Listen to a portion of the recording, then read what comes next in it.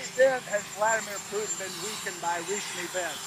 It's hard to tell, but he's, clearly losing the war in Iraq. He's losing the war at home. And he has uh, become a bit of a pariah around the world.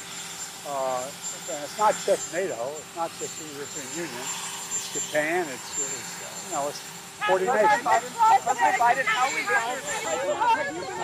Have you listened to the tape of President Trump